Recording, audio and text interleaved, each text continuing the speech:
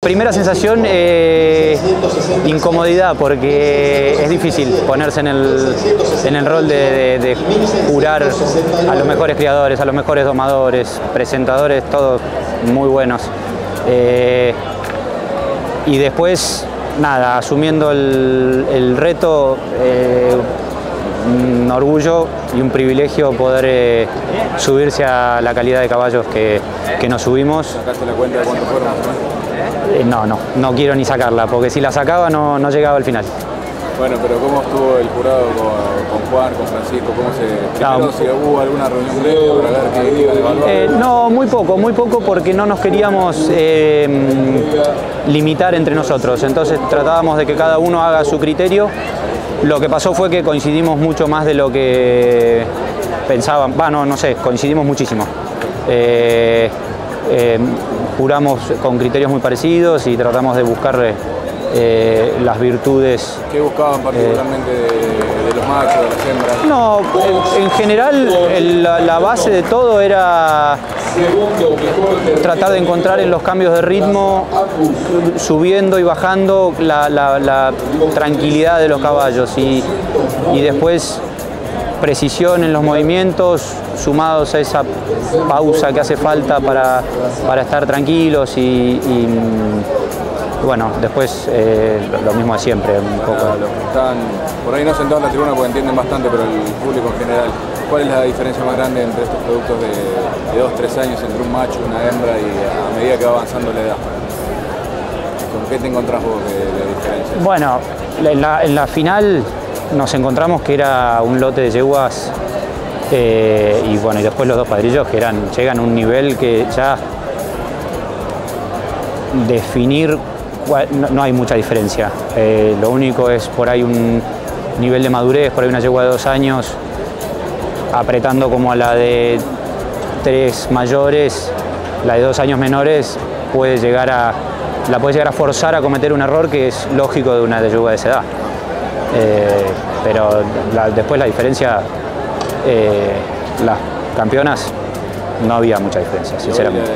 Describime el campeón macho y la campeona de los que viste vos. Bueno, el campeón macho a a mí ya de- no lo tuve que subir mucho más que creo que lo subí una o dos veces, una vez. Eh, eh, me, me pareció excepcional. Eh, todas las virtudes que le puedas pedir las tenía.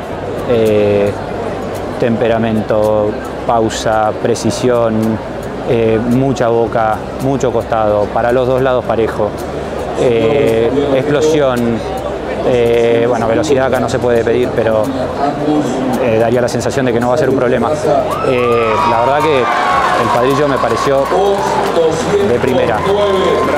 Y la yegua también es- es muy parecido.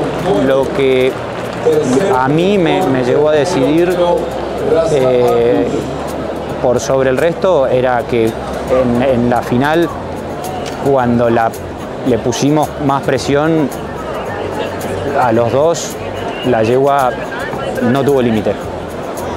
Y lo personal, eh, digo, a pesar del cansancio y todo, cuando ves la posibilidad de que los podés apretar para que, que te muestran un poquito más y lo cumplen, es- debe ser muy satisfactorio, ¿no? Bueno, es lo que te decía, es de, subirse a estos caballos. Era, los chicos me decían eh, todos, bueno, dale que quedan, dale que faltan, dale que estás muerto, estás cansado, no sé qué. Le digo, la verdad que eh, eh, no, me podía quejar nunca. Se largó a llover y me estaba subiendo a la reserva. Me acuerdo en el momento que me estaba subiendo a la que salió reservada Gran Campeona, en el momento que llovía. ¿Qué me a.? Un placer. Y bueno, del resto del jurado, ¿qué, qué decir?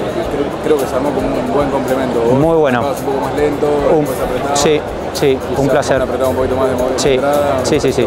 No, no, la verdad que un placer, nos complementamos muy bien y en, en el fondo los criterios eran, eran muy parecidos, cada uno buscaba, buscaba eso a su manera, pero, pero estábamos muy, muy de acuerdo en, en el criterio. En sí, para cerrar, eh, nada, me imagino eh, el orgullo de estar acá y de tener esta raza y con la calidad de caballos que siguen saliendo. y continuación. Sí, sí, yo creo que esto obliga a, a- a muchos criadores a mejorar. eh, todos los años, venir y competir y presentar y, y querer ganar y eh, está buenísimo. la verdad que no, no, no, veo, no veo cosas para, para criticar, solo cosas positivas.